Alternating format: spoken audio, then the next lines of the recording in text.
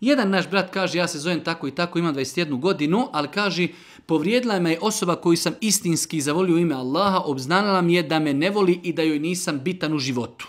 I tako dalje. I sada je njemu to mnogo teško, ne zna kako da nastavi život, zato što mu je neka osoba koju je mnogo volio ime Allaha rekla da ona njemu ne znači ništa. Šta u takvim situacijama rad? Čak ovdje čovjek kaže, kako da prevaziđem ove bolove koje me muče već mjesec dana i kako da zaboravim na tu osobu. Čak ovdje kaže nekada mi kroz glavu prolaze koje kakve stvari koje ne bi trebalo da prolaze. Zna se ovdje otprilike na što se misli, da možda na suicid i nešto slično tomi.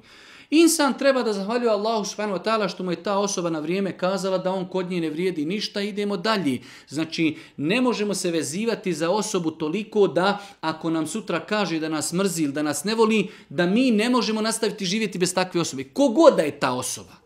Znači, ne smijemo se ni za koga toliko vezivati. Da se vezujemo za osobu, on nam kaže, vidi, ti meni ništa ne znači životu, ne volim te, mrzim te, da mene to toliko sruši da ne mogu nastaviti živjeti. Ne postoji takva osoba. Idemo dalje, stavljamo tu osobu ako je ona nas stavila na delete i mi njoj ništa ne značimo, ne znači ni ona nama ništa, idemo dalje, živimo svojim normalnim životom. Tako da neispravno je i bespotrebno je toliko se vezivati za neku osobu, kada ako Bog da ostanimo, vidjet ćemo da ne postoji nijedna osoba koja zaslužuje toliko naše pažnje, da mi razmišljamo, ne daj Bože da uradimo samoubistvo zbog nekog insana jer nam je rekao da nas ne voli ili da mi kod njega ništa ne vrijedimo, idemo dalje, i to je to.